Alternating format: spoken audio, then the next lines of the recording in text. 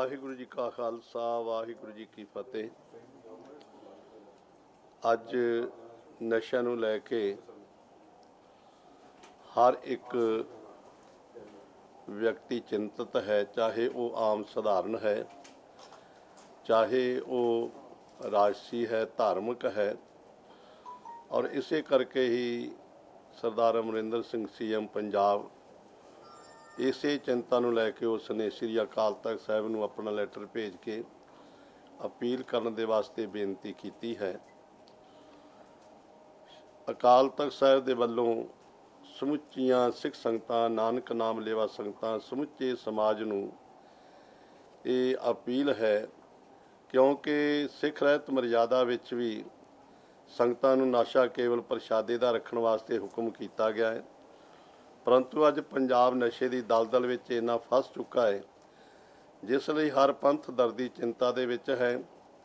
ਕੁਝ ਲੋਕਾਂ ਨੇ ਆਪਣਾ ਨਿੱਜੀ ਲਾਹਾ ਲੈਣ ਵਾਸਤੇ ਨਸ਼ੇ ਦਾ ਕਾਰੋਬਾਰ ਸ਼ੁਰੂ ਕੀਤਾ ਤੇ ਹੱਸਦੇ ਵਸਦੇ ਪੰਜਾਬ ਦੀ ਨੌਜਵਾਨੀ ਨੂੰ ਇਸ ਨਸ਼ੇ ਦੀ ਭੱਠੀ ਵਿੱਚ ਝੋਕ ਦਿੱਤਾ। ਜਿਸ ਵਿੱਚ ਪੰਜਾਬ ਦੀ ਨੌਜਵਾਨੀ ਬੁਰੀ ਤਰ੍ਹਾਂ ਤਬਾਹ ਹੋ ਰਹੀ ਹੈ, ਇਸ ਨਸ਼ੇ ਦੀ ਅੱਗ ਨੂੰ ਬੁਝਾਉਣ ਲਈ ਪੰਜਾਬ ਸਰਕਾਰ ਸ਼੍ਰੋਮਣੀ ਗੁਰਦੁਆਰਾ ਪ੍ਰਬੰਧਕ ਕਮੇਟੀ ਸ਼੍ਰੋਮਣੀ ਅਕਾਲੀ ਦਲ, ਦਿੱਲੀ ਸੇ ਗੁਰਦੁਆਰਾ ਪ੍ਰਬੰਧਕ ਕਮੇਟੀ ਅਤੇ ਕਈ ਹੋਰ ਸੰਸਥਾਵਾਂ, ਸਮਾਜ ਸੇਵੀ ਸੰਸਥਾਵਾਂ ਇਸ ਪ੍ਰਤੀ ਰਾਤ ਦਿਨ ਕਰਕੇ ਸਿਰ ਤੋੜ ਯਤਨ ਕਰ ਰਹੀਆਂ ਹਨ। ਪਰ ਫਿਰ ਵੀ ਅਜੇ ਇਸ ਨਸ਼ੇ ਦੀ ਨਸ਼ੇ ਨੂੰ ਠੱਲ ਨਹੀਂ ਪੈ ਰਹੀ। ਸੰਗਤਾਂ ਇਸ ਨਸ਼ੇ ਨੂੰ ਰੋਕਣ ਦਾ ਕਿਸੇ ਪੁਰ ਅਹਿਸਾਨ ਨਾ ਕਰਨ। ਸਗੋਂ ਹਰ ਵਿਅਕਤੀ ਆਪਣਾ ਫਰਜ਼ ਸਮਝ ਕੇ ਆਪਣੇ ਆਪਣੇ ਪਰਿਵਾਰ ਆਂਢ ਗੁਆਂਢ ਗਲੀ ਮੁਹੱਲਾ ਅਤੇ ਪਿੰਡ ਆਦਿ ਨੂੰ ਧਿਆਨ ਵਿੱਚ ਰੱਖ ਕੇ ਕੁਰਾਹੇ ਪਏ ਬੱਚੇ ਬੱਚੀਆਂ ਨੂੰ ਨਸ਼ੇ ਦੀ ਦਲਦਲ ਵਿੱਚੋਂ ਕੱਢਣ ਵਾਸਤੇ ਹਰ ਸੰਭਵ ਯਤਨ ਕਰਨ। ਇਸ ਵਿੱਚ ਪੰਜਾਬ ਸਰਕਾਰ ਵੀ ਸਖਤੀ ਵਰਤ ਕੇ ਨਸ਼ਿਆਂ ਦੇ ਸੁਦਾਗਰਾਂ ਨੂੰ ਭਾਵੇਂ ਉਹ ਕਿੰਨੀ ਵੀ ਵੱਡੇ ਕਿੰਨਾ ਵੀ ਵੱਡਾ ਵਿਅਕਤੀ ਹੋਵੇ, ਅਫੀਸਰ ਹੋਵੇ, ਜੇਲ੍ਹਾਂ ਵਿੱਚ ਬੰਦ ਕਰੇ ਅਤੇ ਜੋ ਬੱਚੇ ਇਸ ਦਲਦਲ ਵਿੱਚ ਫਸ ਚੁੱਕੇ ਨੇ, ਇਹਨਾਂ ਦਾ ਫ੍ਰੀ ਇਲਾਜ ਕਰਨ ਦਾ ਇੰਤਜ਼ਾਮ ਕਰੇ।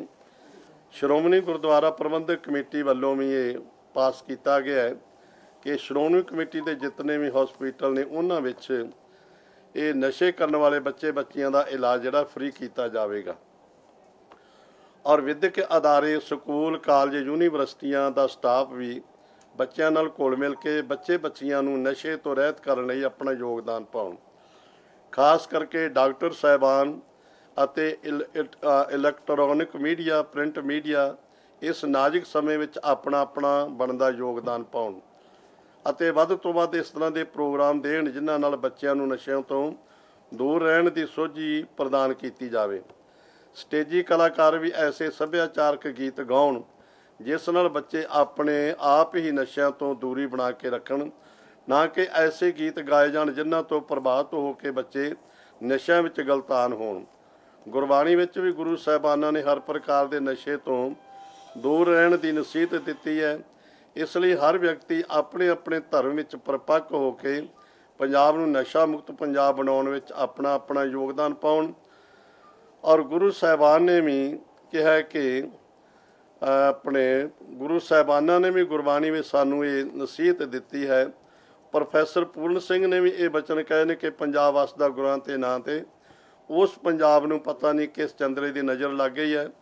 ਆਓ ਅਸੀਂ ਸਾਰੇ ਰਲ ਮਿਲ ਕੇ ਨਸ਼ਿਆਂ ਉੱਪਰ ਠੱਲ ਪਾਉਣ ਲਈ ਆਪੋ ਆਪਣਾ ਯੋਗਦਾਨ ਪਾ ਕੇ ਪੰਜਾਬ ਦੀ ਧਰਤੀ ਨੂੰ ਪਵਿੱਤਰ ਧਰਤੀ ਵਜੋਂ ਉਭਾਰਨ ਦਾ ਯਤਨ ਕਰੀਏ।